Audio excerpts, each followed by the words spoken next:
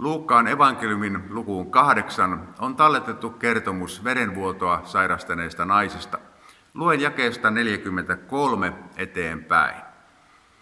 Siellä oli myös nainen, joka oli sairastanut verenvuotoa 12 vuotta ja kuluttanut lääkäreihin kaiken omaisuutensa, eikä kukaan ollut voinut häntä parantaa.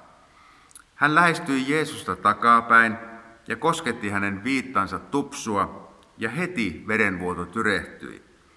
Jeesus kysyi, kuka koski minuun? Kun kaikki kielsivät, Pietari sanoi, Mestari, väkijoukko ahdistaa ja tönii sinua joka puolelta. Mutta Jeesus sanoi, joku koski minuun, sillä minä tunsin, että minusta lähti voimaa.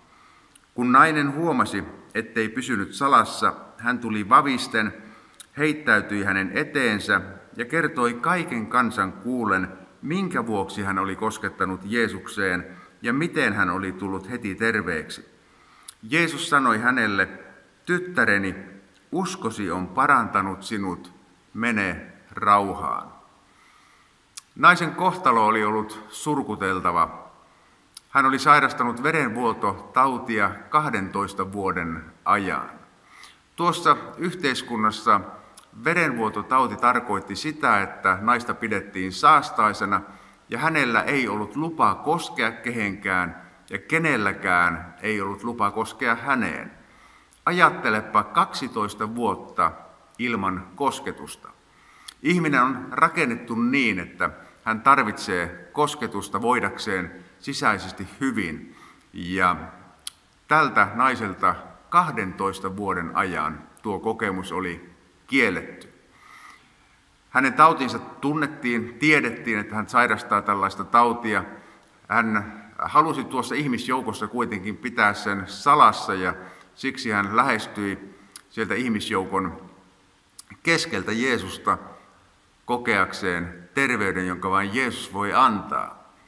Hän oli etsinyt terveyttä 12 vuoden ajan. Hän oli kuluttanut kaiken omaisuutensa sitä etsiessään ja hän ei ollut tullut paremmaksi.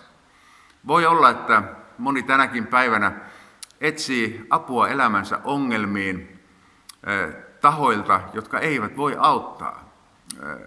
Me kiitämme Jeesusta ja Jumalaa siitä, että on lääketiede, josta löytyy paljon apua, mutta monenlaisia ongelmia, joista me etsimme muualta apua ja emme sitä kuitenkaan löydä.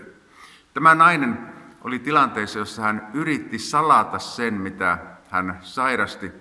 Ja moni ihminen tänäänkin pitää tai yrittää pitää ongelmiaan salassa, etteivät ne näkyisi toisille.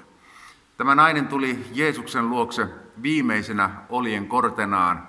Hän oli kuullut Jeesuksen parantavasta voimasta ja päätti, että vaikka hänellä ei ole oikeutta koskea kehenkään, hän menee sinne väen tungokseen ja ojentaa käteensä Jeesusta kohti. Varmasti hän kosketti muitakin ihmisiä siinä tungoksessa, mutta hänen uskonsa kohde oli Jeesus. Ja kun hän koskettaa Jeesusta, hän tulee terveeksi. Mutta sitten Jeesus tekee jotakin merkittävää. Jeesus tietää, että hänestä lähtee voima ja tietää, että joku tuli terveeksi, mutta hän pyytää naisen esille tämän itsensä tähden.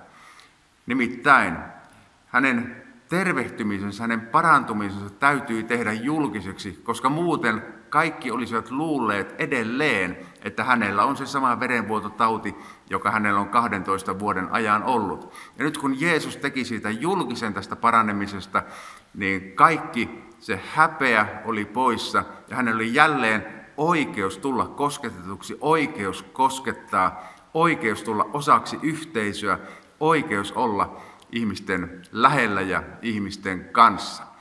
Jeesus parantaa ei ainoastaan fyysisiä sairauksia, vaan hän parantaa ulkopuolisuudesta osallisuuteen. Hän parantaa, parantaa erakkomaisuudesta yhteisöön.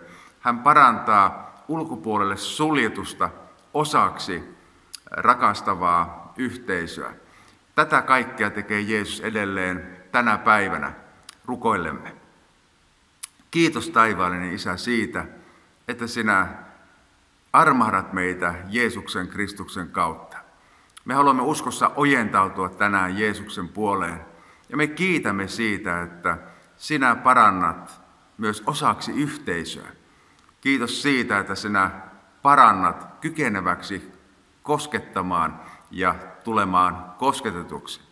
Me kiitämme sinua siitä, että sinä parannat kaikilla elämän osa-alueilla.